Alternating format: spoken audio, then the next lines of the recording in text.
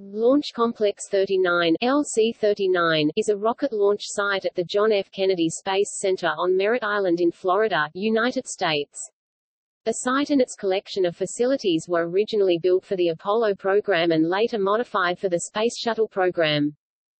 Launch Complex 39 is composed of three launch pads, 39A, 39B and 39C, a vehicle assembly building VAB, a crawlerway used by crawler transporters to carry mobile launcher platforms between the VAB and the pads, orbiter processing facility buildings, a launch control center which contains the firing rooms, a news facility famous for the iconic countdown clock seen in television coverage and photos, and various logistical and operational support buildings. As of 2017, only Launchpad 39A is active and has been used to launch SpaceX's Falcon 9 and Falcon Heavy. Pad 39B is being modified to launch NASA's Space Launch System. A new, smaller Pad 39C was added in 2015 to support smaller launches, but has not yet been used. SpaceX leases Launchpad 39A from NASA and has modified the pad to support Falcon Heavy launches in 2017 and beyond. NASA began modifying Launchpad 39B in 2007 to accommodate the now defunct Project Constellation, and is currently preparing it for the Space Launch System with the first launch scheduled for December 2019. Pad C was originally planned for Apollo but never built, and would have been a copy of Pads 39A and 39B. A smaller pad designated 39C was constructed from January to June 2015 to accommodate small class vehicles. NASA launches from LC-39A and 39B have been supervised from the NASA Launch Control Center LCC, located 3 miles 4.8 kilometers from the launch pads. LC-39 is one of several launch sites that share radar and tracking services of the Eastern Test Range.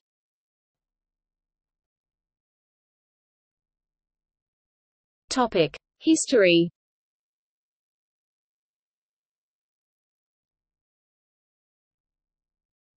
Topic: Early history. Northern Merritt Island was first developed around 1890 when a few wealthy Harvard University graduates purchased 18,000 acres 73 square kilometers and constructed a three-story mahogany clubhouse, very nearly on the site of Pad 39A. During the 1920s, Peter E. Studebaker Jr., son of the automobile magnate, built a small casino at De Soto Beach 8 miles 13 kilometers north of the Canaveral Lighthouse. In 1948, the Navy transferred the former Banana River Naval Air Station located south of Cape Canaveral, to the Air Force for use in testing captured German V-2 rockets. The site's location on the East Florida coast was ideal for this purpose in that launches would be over the ocean, away from populated areas. This site became the Joint Long-Range Proving Ground in 1949 and was renamed Patrick Air Force Base in 1950. The Air Force annexed part of Cape Canaveral to the north in 1951, forming the Air Force Missile Test Center, the future Cape Canaveral Air Force Station CCAFS. Missile and rocketry testing and development would take place here through the 1950s. After the creation of NASA in 1958, the CCAFS launch pads were used for NASA's civilian unmanned and manned launches, including those of Project Mercury and Project Gemini.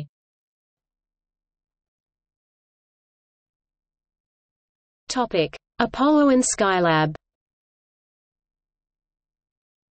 In 1961, President Kennedy proposed to Congress the goal of landing a man on the Moon by the end of the decade. Congressional approval led to the launch of the Apollo program, which required a massive expansion of NASA operations, including an expansion of launch operations from the Cape to adjacent Merritt Island to the north and west. NASA began acquisition of land in 1962, taking title to 131 square miles 340 square kilometers by outright purchase and negotiating with the state of Florida for an additional 87 square miles 230 square kilometers. On July 1, 1962, the site was named the Launch Operations Center. Topic: Initial design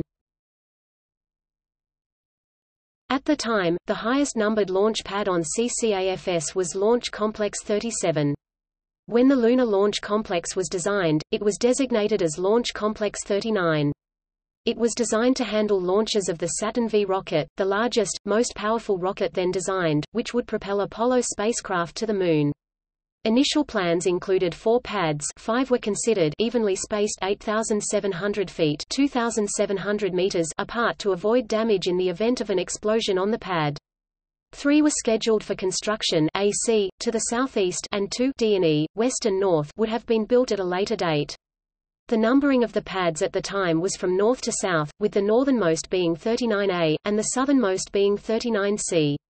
Pad 39A was never built, and 39C became 39A in 1963. With today's numbering, 39C would have been north of 39B, and 39D would have been due west of 39C.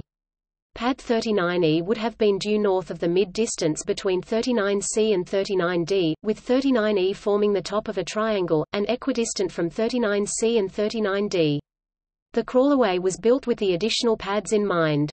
This is the reason the crawlerway turns as it heads to pad B, continuing straight from that turn would have led to the additional pads. Topic: Integration of space vehicle stack. Months before launch, the three stages of the Saturn V launch vehicle and the components of the Apollo spacecraft were brought inside the Vehicle Assembly Building VAB, and assembled in one of four high bays into a 363-foot 111 meters tall space vehicle on one of three mobile launchers. Each mobile launcher consisted of a two-story, 161 by 135 foot 49 by 41 meters launch platform with four hold-down arms and a 446 foot 136 meters launch umbilical tower LUT, topped by a crane used to lift the spacecraft into position for assembly. The MLP and unfueled vehicle together weighed 12,600,000 pounds 5,715 t. The umbilical tower contained two elevators and nine retractable swing arms which extended to the space vehicle, to provide access to each of the three rocket stages and the spacecraft for people, wiring and plumbing while the vehicle was on the launch pad, and swung away from the vehicle at launch. Technicians, engineers, and astronauts use the uppermost spacecraft access arm to access the crew cabin. At the end of the arm, the White Room provided an environmentally controlled and protected area for astronauts and their equipment to enter the spacecraft. Topic. Transportation to the pad When the stack integration was completed, it was moved the 3 to 4 miles (4.8 to 6.4 kilometers) to the pad at a speed of 1 mile per hour (1.6 kilometers per hour) by one of two crawler transporters.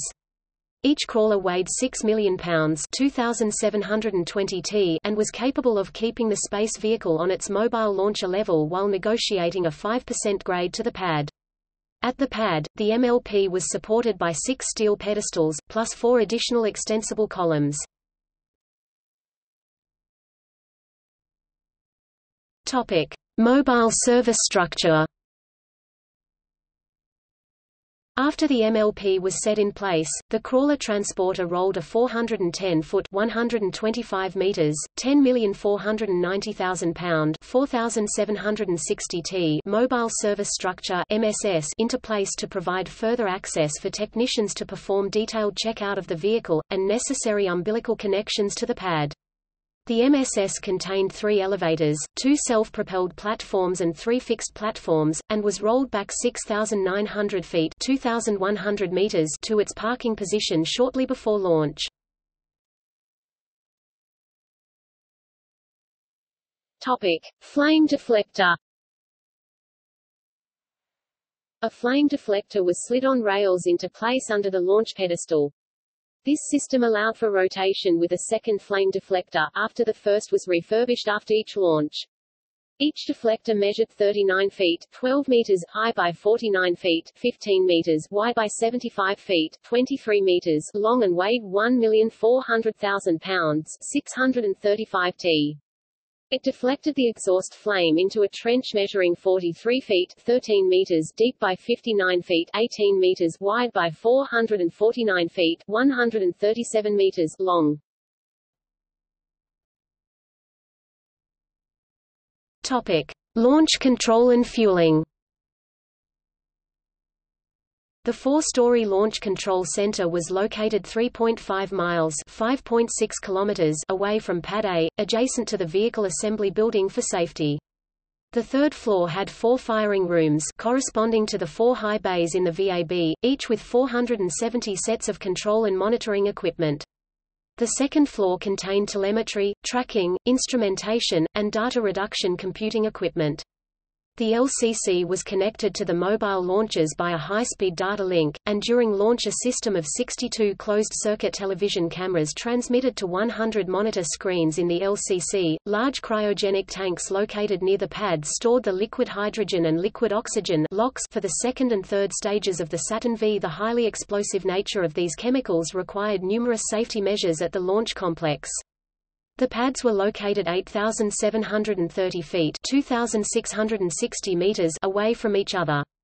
Before tanking operations began and during launch, non-essential personnel were excluded from the danger area. Topic: Emergency evacuation system. Each pad had a 200-foot (61 meters) evacuation tube running from the mobile launcher platform to a blast-resistant bunker 39 feet 12 meters underground, equipped with survival supplies for 20 persons for 24 hours.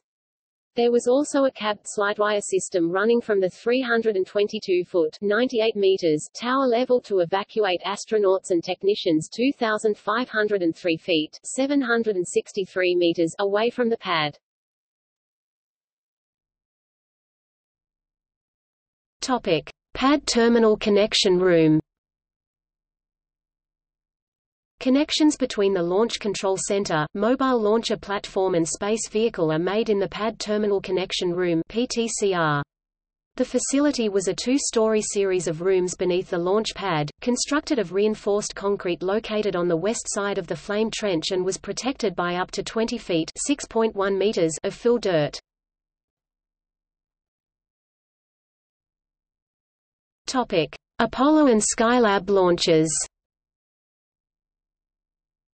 The first use of LC-39 came in 1967 with the first Saturn V launch, carrying the unmanned Apollo 4 spacecraft. The second unmanned launch, Apollo 6, also used Pad 39A. With the exception of Apollo 10, which used Pad 39B due to the all-up Testing resulting in a two-month turnaround period, all manned Apollo Saturn V launches, commencing with Apollo 8, used Pad 39A. A total of 13 Saturn Vs were launched for Apollo, and the unmanned launch of the Skylab space station in 1973. The mobile launchers were then modified for the shorter Saturn IB rockets, by adding a milk stool extension platform to the launch pedestal, so that the S-IVB upper stage and Apollo spacecraft swing arms would reach. These were used for three-man Skylab flights and the Apollo-Soyuz test project, since the Saturn IB pads 34 and 37 at Cape Canaveral AFB had been decommissioned.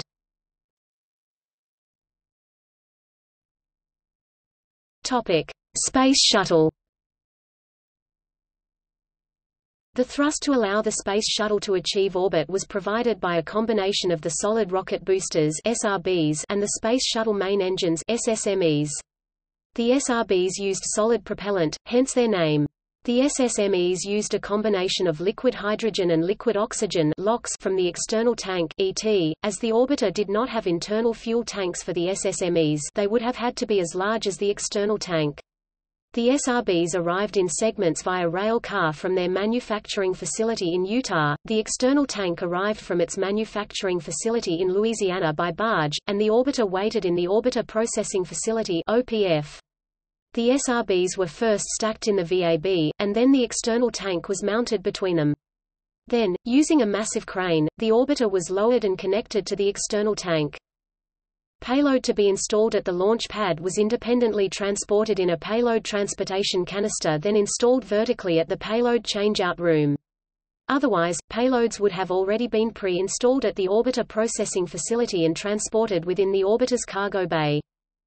The original structure of the pads was remodeled for the needs of the Space Shuttle, starting with Pad 39A after the last Saturn V launch, and in 1977 for Pad 39B after the Apollo-Soyuz test project in 1975.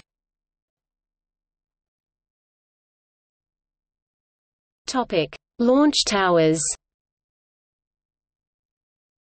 Each pad contained a two-piece access tower system, the Fixed Service Structure (FSS) and the Rotating Service Structure (RSS). The FSS permitted access to the shuttle via a retractable arm and a beanie cap to capture vented LOX from the external tank. The RSS contained the payload changeout room, which offered clean access to the orbiter's payload bay, protection from the elements, and protection in winds up to 60 knots 110 km per hour. The FSS on Pad 39A was constructed from most of the umbilical tower of Mobile Launcher 2, while the FSS that was on 39B was constructed from most of the umbilical tower of Mobile Launcher 3. Topic: Sound suppression water system. A sound suppression water system SSWS was added to protect the Space Shuttle and its payload from effects of the intense sound wave pressure generated by its engines. An elevated water tank on a 290-foot 88 meters tower near each pad stored 300,000 US gallons 1,100,000 liters of water, which was released onto the mobile launcher platform just before engine ignition. The water muffled the intense sound waves produced by the engines. Due to heating of the water, a large quantity of steam and water vapor was produced during launch. Topic: Swing arm modifications. The gaseous oxygen vent arm positioned a hood, often called the beanie cap, over the top of the external tank ET nose cone during fueling. Heated gaseous nitrogen was used there to remove the extremely cold gaseous oxygen that normally vented out of the external tank. This prevented the formation of ice that could fall and damage the shuttle. The hydrogen vent line access arm mated the external tank ET ground umbilical carrier plate GUCP to the launch pad hydrogen vent line. The GUCP provided support for plumbing and cables, called umbilicals, that transferred fluids, gases, and electrical signals between two pieces of equipment. While the ET was being fueled, hazardous gas was vented from an internal hydrogen tank through the GUCP, out a vent line to a flare stack where it was burned off at a safe distance. Sensors at the GUCP measured gas level. The GUCP was redesigned after leaks created scrubs of STS-127 and were also detected during attempts to launch STS-119 and STS-133. The GUCP released from the ET at launch and fell away with a curtain of water sprayed across it for protection from flames. Topic: Emergency pad evacuation. In an emergency, the launch complex used a slidewire escape basket system for quick evacuation. Assisted by members of the closeout team, the crew would leave the orbiter and ride an emergency basket to the ground at speeds reaching up to 55 miles per hour 89 kilometers per hour. From there, the crew took shelter in a bunker. A modified M113 armored personnel carrier could carry injured astronauts away from the complex to safety. During the launch of Discovery on STS-124 on May 31, 2008, the pad at LC-39A suffered extensive damage, in particular to the concrete trench used to deflect the SRB's flames. A subsequent mishap investigation found that the damage was the result of carbonation of epoxy and corrosion of steel anchors which held the refractory bricks in the trench in place. These had been exacerbated by the fact that hydrochloric acid is an exhaust byproduct of the solid rocket boosters. Topic: Space Shuttle launches. After the launch of Skylab in 1973, Pad 39A was reconfigured for the Space Shuttle, with shuttle launches beginning in 1981 with STS-1, flown by the Space Shuttle Columbia. After Apollo 10, Pad 39B was kept as a backup launch facility in the case of the destruction of 39A, but saw service for all three Skylab missions, the Apollo-Soyuz test flight, and a contingency Skylab rescue flight that never became necessary. After the Apollo-Soyuz test project, 39B was reconfigured similarly to 39A, but due to additional modifications, mainly to allow the facility to service a modified Centaur G upper stage, along with budgetary restraints, it was not ready until 1986, and the first shuttle flight to use it was STS-51L, which ended with the Challenger disaster. The first return to flight mission STS-26 launched from 39B.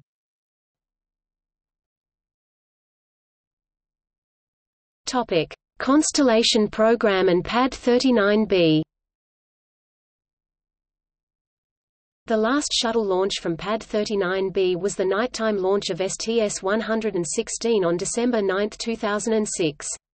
To support the final shuttle mission to the Hubble Space Telescope STS-125 launched from Pad 39A in May 2009, Endeavour was placed on 39B if needed to launch the STS-400 rescue mission. After the completion of STS-125, 39B was converted for the single test flight of the Constellation program Ares I-X from Pad 39B on October 28, 2009. This program was later cancelled. Topic 2011 to 2013. With the retirement of the shuttle in 2011, and the cancellation of Constellation program in 2010, the future of the LC-39 pads was uncertain. By early 2011, NASA began informal discussions on use of the pads and facilities by private companies to fly missions for the commercial space market, culminating in a 20-year lease agreement with SpaceX for Pad 39A. Topic: Pad 39A Just like the first 24 shuttle flights, Pad 39A supported the final shuttle flights, starting with STS-117 in June 2007 until the retirement of the shuttle fleet in July 2011. Prior to the SpaceX lease agreement, the pad remained as it was when Atlantis launched on the final shuttle mission on July 8, 2011, complete with a mobile launcher platform.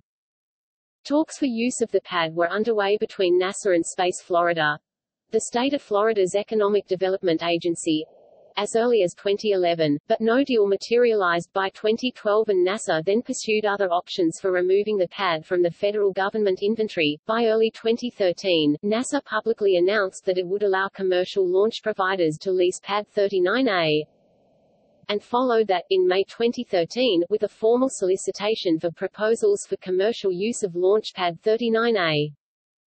There were two competing bids for the commercial use of the launch complex. SpaceX submitted a bid for exclusive use of the launch complex, while Jeff Bezos' Blue Origin submitted a bid for shared non-exclusive use of the complex such that the launch pad would interface with multiple vehicles, and costs could be shared over the long term. One potential shared user in the Blue Origin plan was United Launch Alliance. Prior to completion of the bid period, and prior to any public announcement by NASA of the results of the process, Blue Origin filed a protest with the U.S. General Accounting Office GAO, over what it says is a plan by NASA to award an exclusive commercial lease to SpaceX for use of mothballed Space Shuttle Launch Pad 39A. NASA had planned to complete the bid award and have the pad transferred by October 1, 2013, but the protest will delay any decision until the GAO reaches a decision, expected by mid-December. On December 12, 2013, the GAO denied the protest and sided with NASA, which argued that the solicitation contains no preference on the use of the facility as multi-use or single-use. The solicitation document merely asks bidders to explain their reasons for selecting one approach instead of the other and how they would manage the facility. On December 13, 2013, NASA announced that it selected SpaceX as the new commercial tenant. SpaceX signed the lease agreement on April 14, 2014. SpaceX was given a 20-year exclusive lease of Pad 39A. SpaceX plans to launch their Falcon 9 and Falcon Heavy from the pad and build a new hangar near it. Elon Musk, CEO of SpaceX, stated that he wanted to shift most of their NASA launches to Pad 39A, including commercial cargo and crew missions to the International Space Station.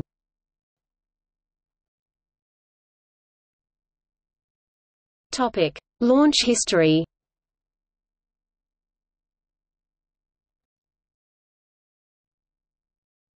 Topic: Pad 39A launches.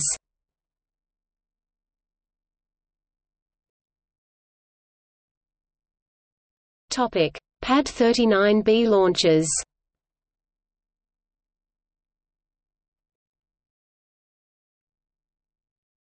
Topic: Current status.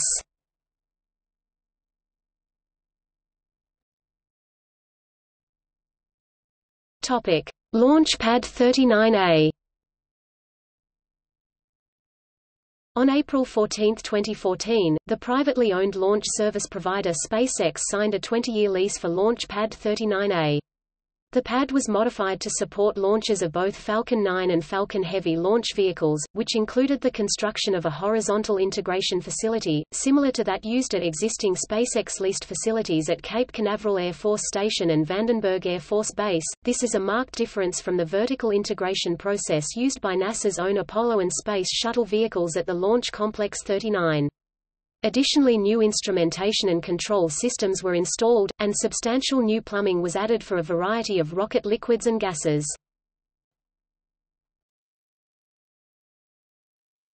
Topic. Construction and first launch in 2015, SpaceX built a large horizontal integration facility HIF, just outside the perimeter of the existing launch pad in order to house both the Falcon 9, and the Falcon Heavy rockets, and their associated hardware and payloads, during preparation for flight. Both types of launch vehicles will be transported from the HIF to the launch pad aboard a transporter erector which will ride on rails up the former crawlerway path. Also in 2015, the launch mount for the Falcon Heavy was constructed on Pad 39A over the existing infrastructure. The work on both the HIF building, and the pad, was substantially complete by late 2015. A rollout test of the new transporter, Erector was conducted in November 2015. SpaceX indicated in February 2016 that they had completed and activated Launch Complex 39A but still has more work yet to do to support crewed flights.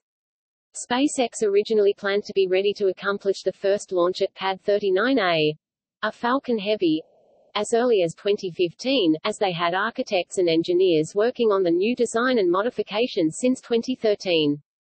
By late 2014, a preliminary date for a wet dress rehearsal of the Falcon Heavy was set for no earlier than July 1, 2015.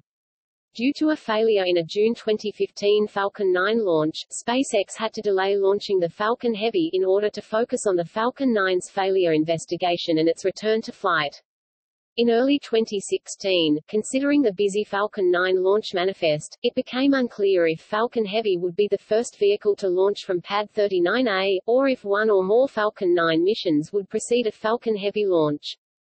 The following months, the Falcon Heavy launch was delayed multiple times and eventually pushed back to February 2018. The first SpaceX launch from Pad 39A was SpaceX CRS-10 using a Falcon 9 on February 19, 2017. It was the company's 10th cargo resupply mission to the International Space Station, and the first unmanned launch from 39A since Skylab.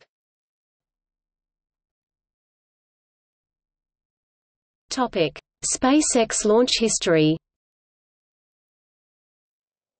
While SLC-40 was undergoing reconstruction after the loss of the Amos-6 satellite on September 1, 2016, all SpaceX's East Coast launches were launched from LC-39A until SLC-40 became operational again in December 2017.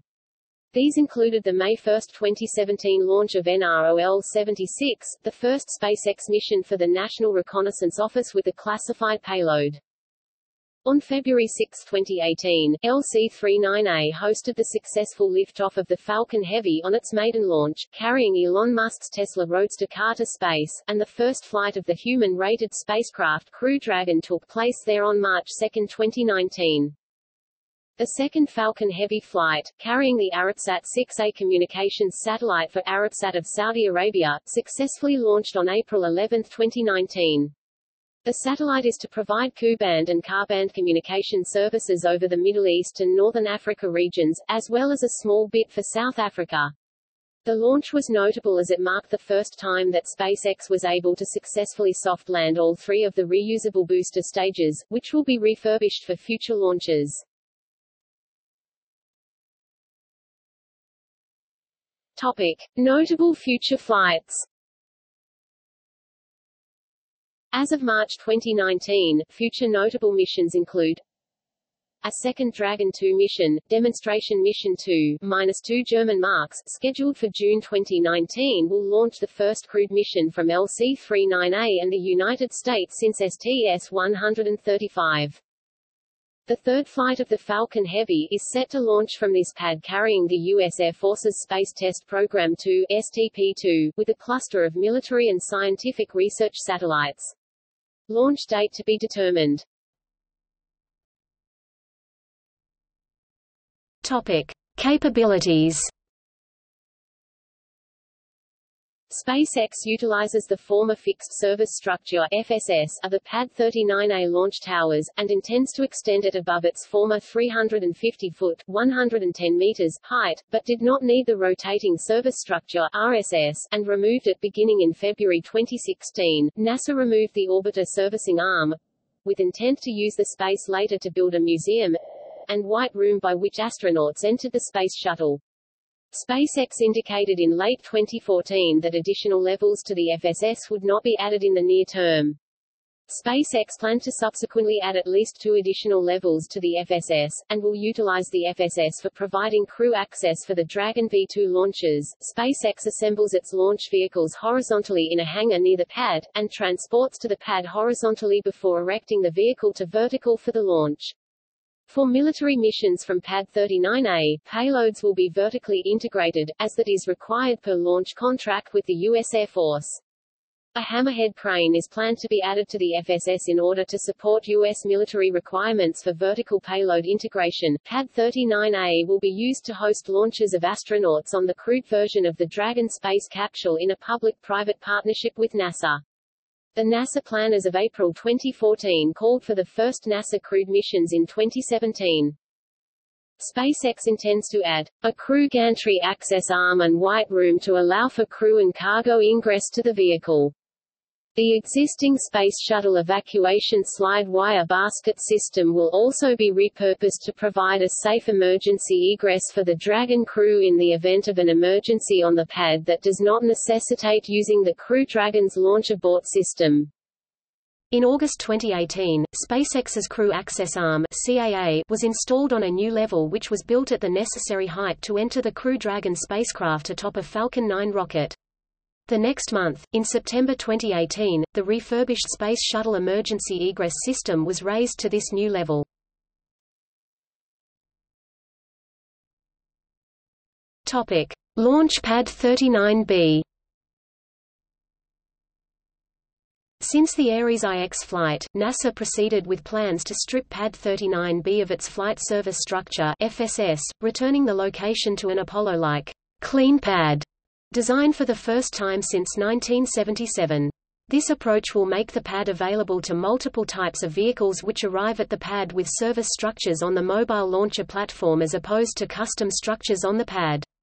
The LH2, LOX, and water tanks used for the sound suppression system are the only structures left from the Space Shuttle era. As of June 2012, repairs and modifications to selected facility systems at Launch Complex LC 39B for Space Launch System SLS processing and launch operations are finishing the first phase of a five-phase project.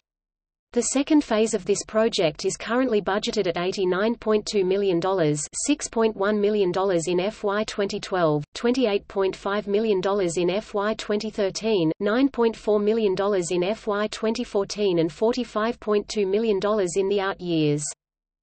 In March 2015, Pad 39B was undergoing modifications to the catacomb roof structure so that it can handle the loads from the SLS Block 1B rocket, increasing the load capacity to support the crawler transporter and vertical rocket from 21 million to 25,500,000 pounds 9,500,000 to 11,600,000 kilograms. In 2014, NASA announced that it would make Pad 39B available to commercial users during times when it is not needed by the Space Launch System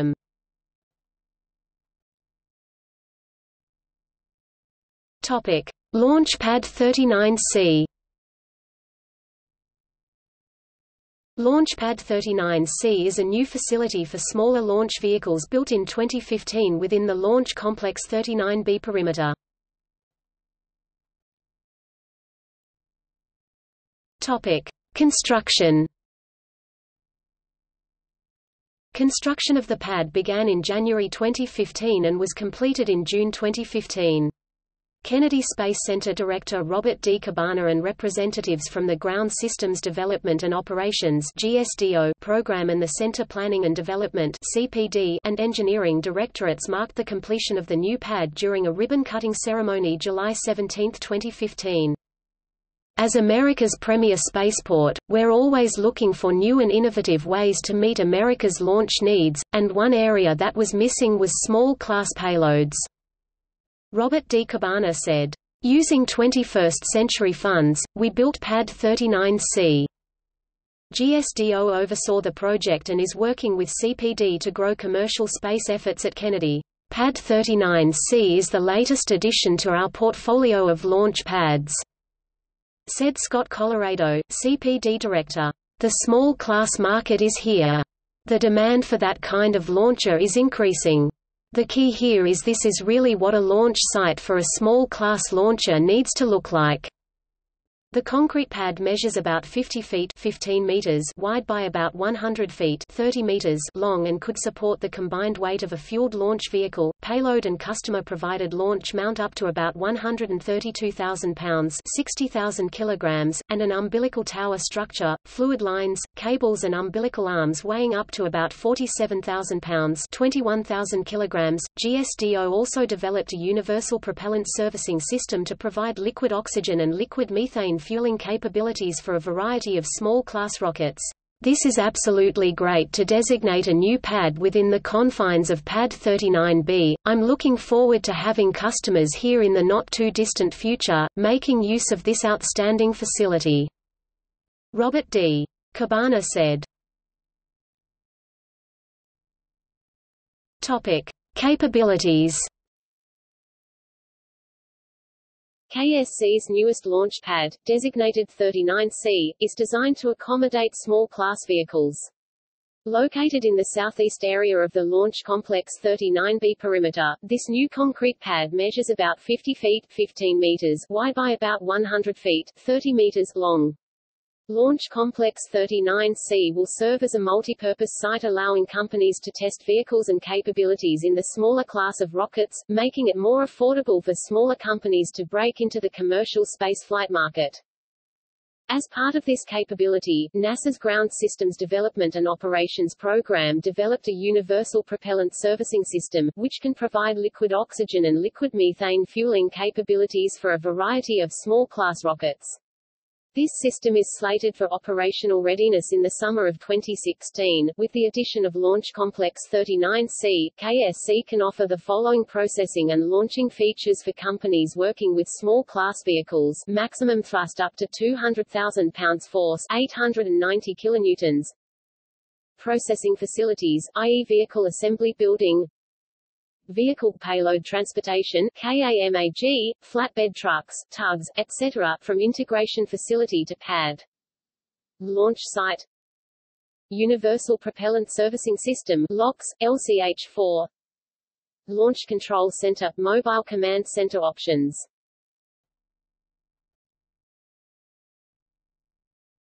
Topic. Future development Kennedy Space Center KSC, previous master plan recommendations in 1966, 1972, and 1977 noted that an expansion of KSC's vertical launch capacity could occur when the market demand existed. The 2007 site evaluation study recommended an additional vertical launch pad, Launch Complex 49 LC-49, to be sited to the north of existing LC-39B. As part of the Environmental Impact Study process, this area was consolidated from two pads, formerly designated in 1963 plans as 39C and 39D, to one that provides greater separation from LC39B. The area was expanded to accommodate a wider variety of launch azimuths, helping protect against potential overflight concerns of LC39B. This LC-49 launch facility could accommodate medium to large class launch vehicles. The 2007 vertical launch site evaluation study concluded that a vertical launch pad could also be sited to the south of 39A and to the north of Pad 41 to accommodate small, medium launch vehicles. Designated as Launch Complex 48 LC-48, this area is best suited to accommodate small to medium-class launch vehicles due to its closer proximity to LC-39A and LC-41. Due to the nature of these activities, QD arcs, launch hazard impact limit lines, other safety setbacks, and exposure limits requirements will be imposed for safe operations. The proposed launch pads were published in the Kennedy Space Center Master Plan in 2012.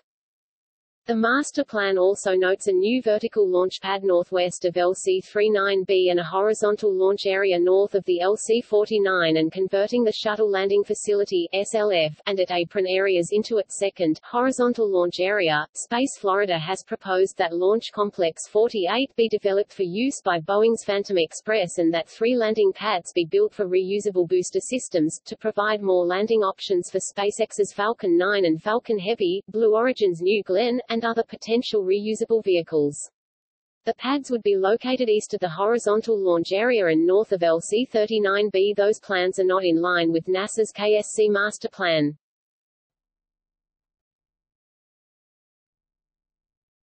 Topic Gallery